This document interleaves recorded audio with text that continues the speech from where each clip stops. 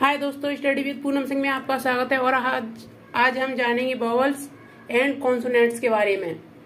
अंग्रेज़ी भाषा की वर्णमाला में 26 लेटर्स होते हैं। इन लेटर्सों को दो भागों में बांटा गया है। जिस तरह आप देख सकते हैं A B C D E F G H I J K L M N O P Q R S T U V W X Y Z ये पाँच फाइव स्वर हैं तो हम जानेंगे अब वोवल और कॉन्सोनेंट्स के बारे में।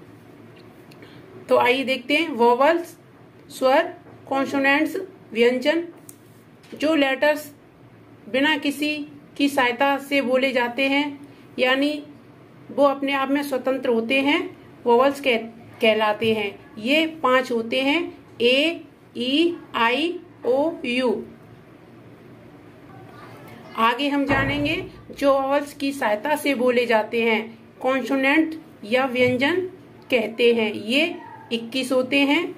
जैसे B C B C D F G H J K L M N P Q R S T V W X Y Z vowel की ध्वनि साउंड को वोवल साउंड कहते हैं।